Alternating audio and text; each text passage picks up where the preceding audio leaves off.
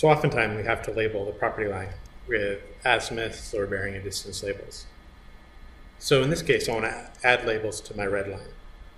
To do that, I'll go to the Annotate tab of the ribbon and go to the Add Labels button. Here I can choose what type of feature I want to label. In this case, the red line, so I want to choose line and curve. And then this, the segment type. I can either label one segment at a time, or if I have a polyline, I can do multiple segments. When I choose multiple segments, it'll add it to the midpoint of the polyline segments. In this case, I have lines and arcs, so I'm going to use single segment. For the label style, I want to choose one that looks correct. So I can either go azimuth to distance or distance to azimuth. If I want to drag it away, I can do azimuth to distance as composed. So I'm going to choose that option. Here I can choose azimuth to distance or distance to azimuth. I can also do radius end and radius start. So I'm going to start with azimuth distance for my curves. Before I do that, I'm going to isolate it so I can e more easily see the red lines. So I'm going to right click and select similar for one arc and one line.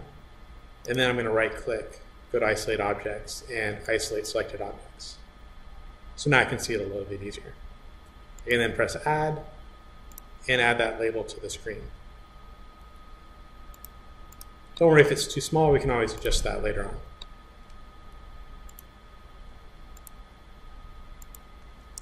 So once I have the label set up, I can always change my annotation scale to maybe 1 inch equals 20, and then now my labels are a little bit bigger.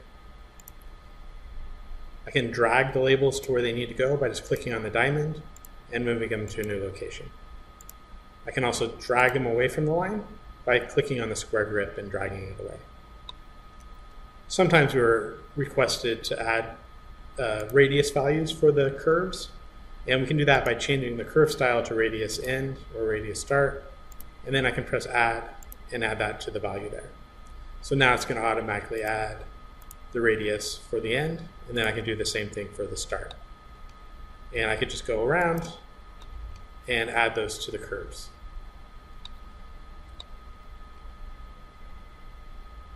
Once I'm happy with them, I can have them there. If I change my mind and say, hey, I want to drag this as a leader instead of being able to keep it in one location, I just need to go and change the style. So I'd go into AutoCAD properties, find the label style that I want to change, either line or curve, and then I can change it from azimuth to distance as composed to azimuth to distance. And you can see that it then updates and now looks in the drag state. And that's how I can change it from dragged to as composed.